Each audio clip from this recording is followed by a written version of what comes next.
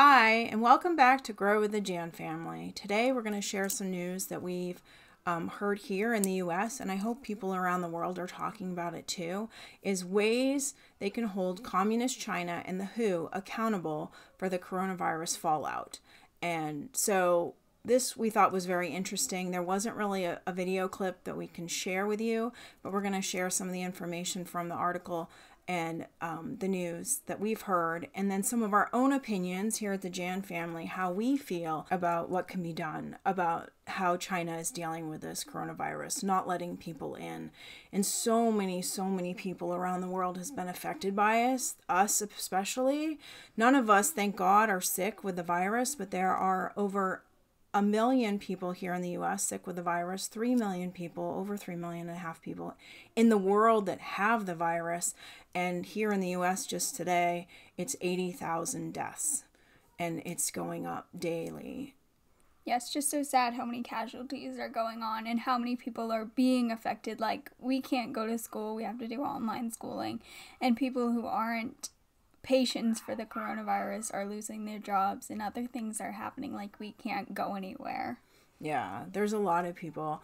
It's uh, one in six have lost their jobs.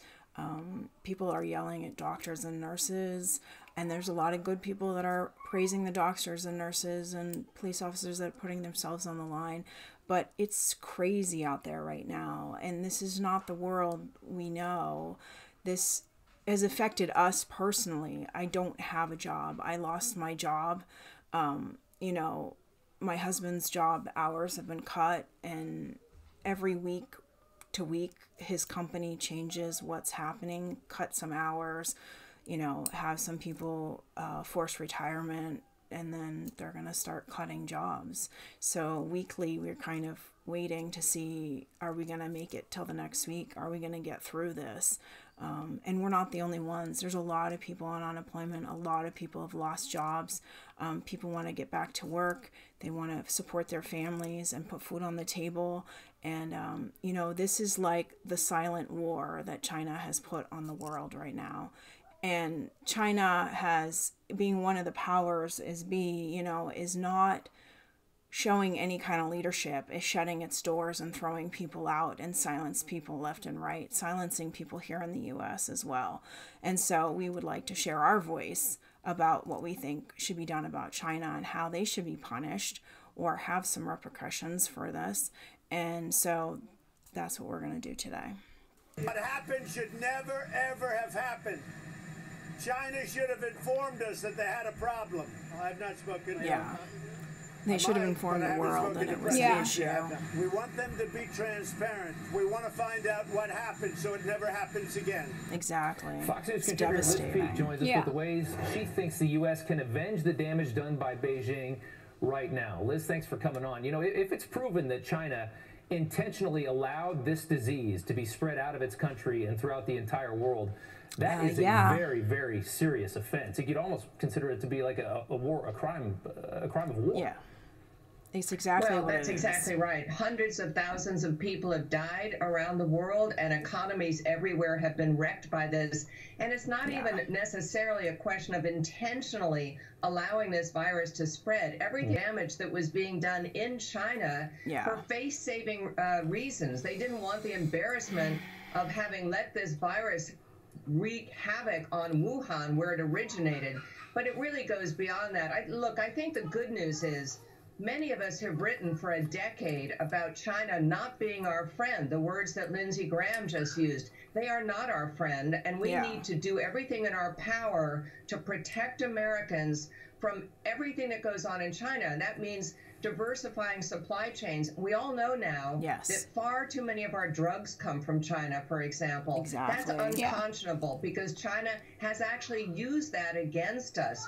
And we also know that their lots of scientists things. and their scholars come to our universities and steal our secrets. We know their companies take over American properties to get access to mm-hmm. critical uh, materials and Yep. supply chains. We really have to become tougher on this. Has nothing to do with trade, although that is another arena where they have misbehaved. This is important, and I hope that this crisis doesn't pass without Congress addressing these issues. Liz, you kind of Yeah, just briefly went to. over some of Yeah. your, your bullet points here for your plan to avenge U.S. COVID 19 deaths. And, and, you know, the first thing on that list is bringing critical manufacturing back to the United Yeah, States. and then we we've can been saying the the rest of the list thing, here. like, Um, bring but, it you know, back I wonder to if the some of this is easier said than done. What is this really going to, to take to make this happen? Well, I- I- yes, it may cost America something to take uh, to diversify supply chains out of China. But look, hundreds of companies have already begun to do this. That's and I think I'm glad public more companies need to do of that. our uh, invulnerability to China, if you will, will further accelerate that trend. Already, companies are moving to Vietnam and so forth. But look, we can make it attractive to manufacture in the United States. There are plenty of companies Yeah. that do source out And of the lots United of States, people and I that need know jobs. that Yeah. you know labor rates are higher here, uh, and some products are not as easily accessible. But this is something that's not going to happen overnight. But it's Mm-hmm. something that American companies need to be pushed to do. Right. Yes, they have to become a little more ingenious. But we've just concluded a big uh, trade pact with Canada and Mexico. A lot of products that are being made in China now also can be made in Mexico with much lower labor rates that are available in the United States. Mexico is not a certain ally, but it, they're sure a better ally than China. Yeah, Yeah. I mean that, that's the thing is that China's got a lot of the world by the purse strings. Yeah, they do. They do. How do you feel seeing so much of the world kowtow to that horrible regime because of that? Well, I think again, what we've seen in the EU from Europe, European countries lately are becoming a little tougher. They are very needy. Look, Europe's economies are in the gutter. Uh, but but really worse than the United States is not just the virus. They have long-term growth problems, and therefore, yes, they're very vulnerable to the attraction of a big Chinese market. They want that market. Okay, but they Yeah. also have begun to But do toughen you want their all this other uh, stuff that comes guidelines with in terms Yeah. of It's acquisitions of. European countries. So that's a very good sign.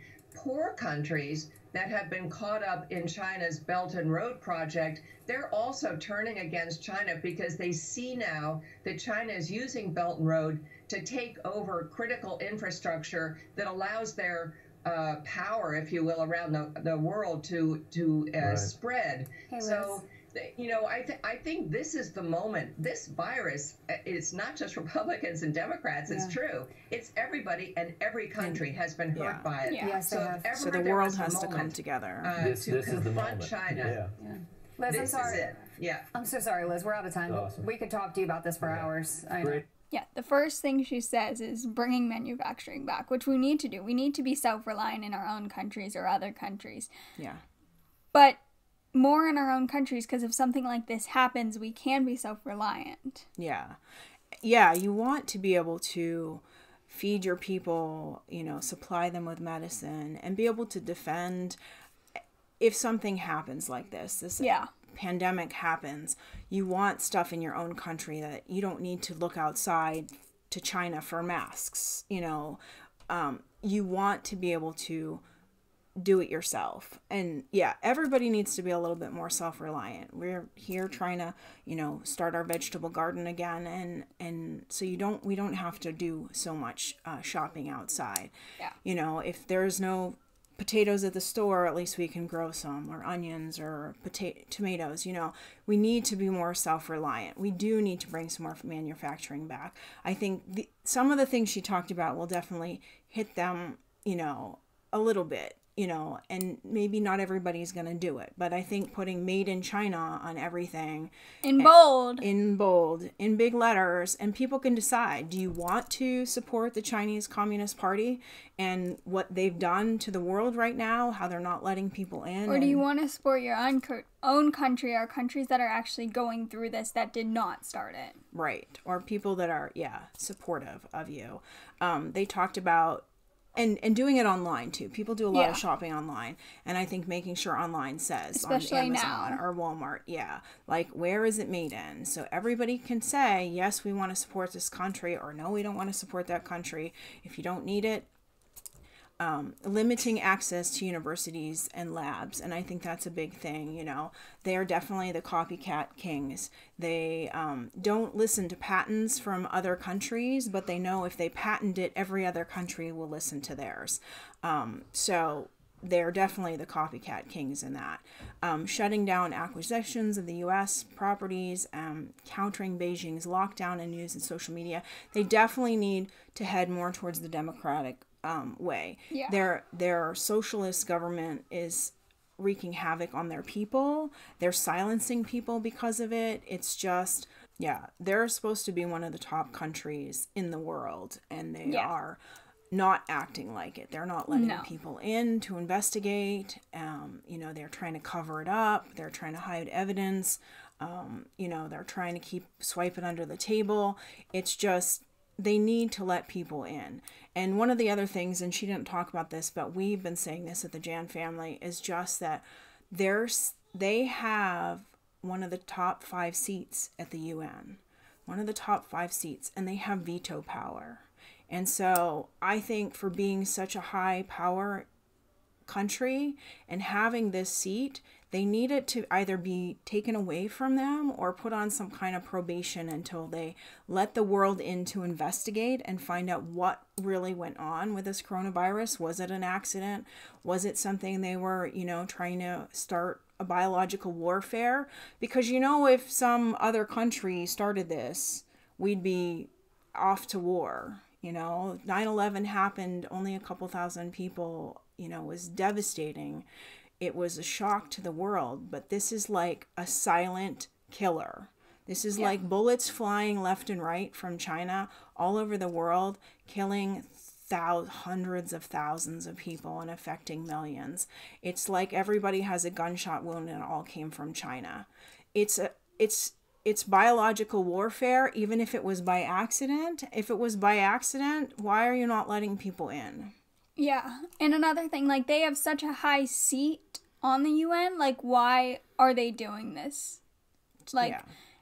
and because they have such a high seat on the UN, that makes it even worse that they did this. Right, and that they're keeping their doors closed and throwing people out. Yeah. and silencing their own people. Like they're And they're people outside too. yeah the, yeah people in the U.S. are afraid of China. I think, and that just it baffles me completely that the Communist Party, the Chinese Communist Party, has such a hand that has reaches around the world in different places. You know, they use that UN seat against other countries and to try to get countries on their side. You know, Pakistan being one of them, buddying up to them so that they can, you know, work with um, you know, they've made uh, fighter jets together, F ones together that they've copied. You know, they're uh, transferring nuclear power. We've heard stories about that that Yeah. we're not sure. You know, there's a lot of stuff, and then and then Pakistan gets them to bring up the Kashmir issue at the UN.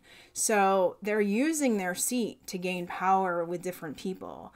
You know, it's not just money; it's power and it's um, influence. And this is how you influence the world: is that you set off this biological warfare by accident or not, it started in Wuhan. There's no other question about that right now. But you need to let people in to investigate from all over the world. And we think everybody needs to get on board with this. People from everywhere need to say, like, there needs to be an investigation. You know, the Communist Party needs to be put on probation. It just has to be. It's they have such power right now, not only military with the UN seat, money. I mean, they're top one of the top countries right now in the world and they have spread this all over the place and they're not taking any any responsibility for it none whatsoever the world really needs to come together on this and hold Yeah. China accountable for what happened in Wuhan and how this virus has just spread to millions of people and affected the world economically It's affected everyone. yeah um, emotionally socially physically it's just um, yeah so you guys let us know how you think china should be punished and what con- other countries should do and what your Yeah. country's doing um, to hold them accountable and um, hopefully we'll see you guys tomorrow Bye.